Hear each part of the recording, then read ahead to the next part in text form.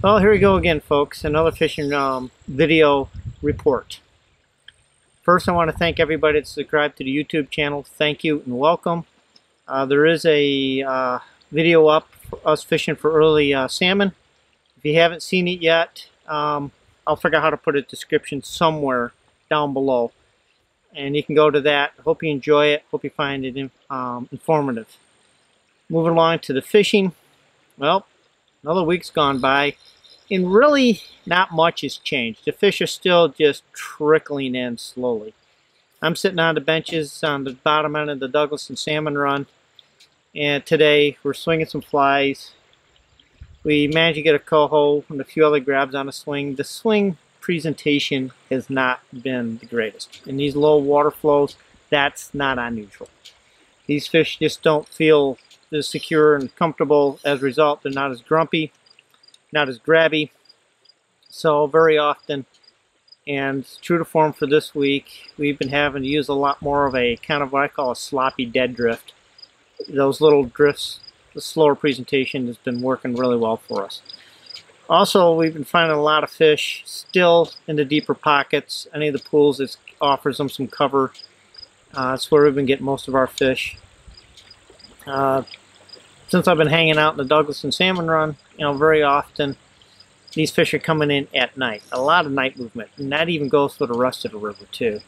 These fish are moving at night. They'll come in. You'll see some activity first thing in the morning, some run activity first thing in the morning. And these are just fish finding themselves out in skinny water going, whoops, I got to find cover. And they just go forward until I find a comfortable spot, a deep pocket, a deep pool with a comfortable with a little overhead cover and they'll just hold up for the day. So as a result, we might get a little bit of movement activity, be able to get some quick action on a pinch point, and then very quickly we got to reposition uh, using once the sun gets the water and we'll start uh, hanging out in the deeper pools, any deeper pockets, cuts that's got some depth and some overhead current, and the fish will trickle in there slowly trickling until they find, they're looking for a comfortable spot to sit. And we're sitting in those comfortable spots and fishing those. And those that'll build up with fishing. Some days we can get some really good activity in there. Other days they'll just sit in there and be grumpy. It's salmon fishing. So that's basically what's been going on. The fly patterns, we're still staying with the standard stuff.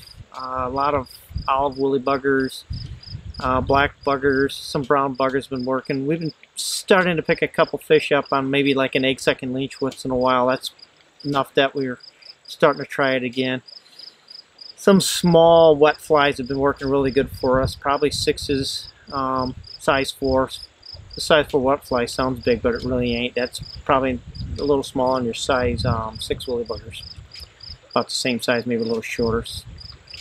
So we've been doing art with hair wings and stuff like that. And the nice thing about hair wings, since they don't hang the bottom as well, that skinny water, we're getting eaten out with flies, but the hair wings seem to swing over them better than a bead-headed fly. So something you may want to consider when you're fishing is to fish a lighter fly. They'll drift over the over the um, rocks and stuff like that, not as hang as much.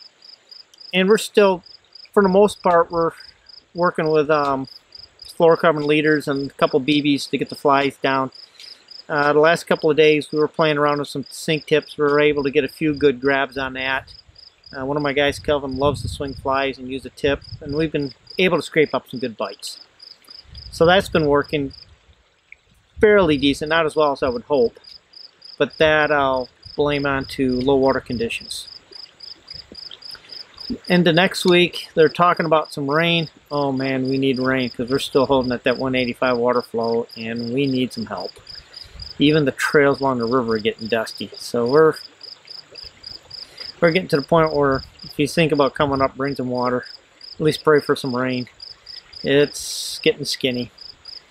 Uh, as for the fish, um, this week we got into a nice handful of cohos. So the cohos are starting to squirt along with the Chinook salmon. So we're having some cohos and Chinook squirting through. There's also in the bottom end of the river a few really nice brown trout being caught in the bottom end of the Douglaston. So there's some beautiful lake run browns showing up, which I'm hopeful for our November fisheries. And I've been hearing a few rumors of some steelhead. We haven't gotten any steelhead yet. Um, however, we've gotten into some really bright female cohos that when you see them jump around, you'd think they're steelhead. But they turn up when we land them, get them in the net. We discovered that they are coho salmon. Uh, but they were a lot of fun. Real plucky fish. That's pretty much in a nutshell for what's going on with the fishing. Uh, I'm, like I said, I'm hoping we get some rain. If we get some rain, things should um, improve. The rumor mill says there's a bunch of fish sitting out in the lake. I hope that's true. Biology rules. So it won't matter on the water flow. They're gonna, they got to show up. So hopefully then it'll start improving next, you know, next few days. I've been saying that in every report. Hopefully it'll improve in the next few days. But going forward, um, it's just the same old drill. It's salmon fishing. You get out, fish.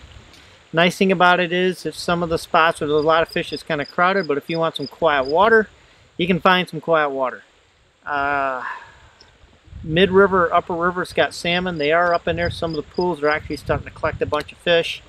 So there, there's some numbers of fish in there. Yes, they are crabby, but there is, you know, starting to get some numbers in some of those bigger pools like you know, around Pineville and Trestle. So they're starting to, and Sportsman's are starting to collect a bunch of fish.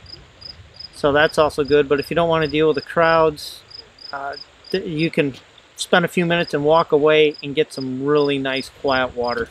I'm down at the bottom of the Douglas Salmon Run right now. Um, my guy Calvin's out fishing away and we have plenty of quiet water right where we are with some fish in there and once in a while we get a poke.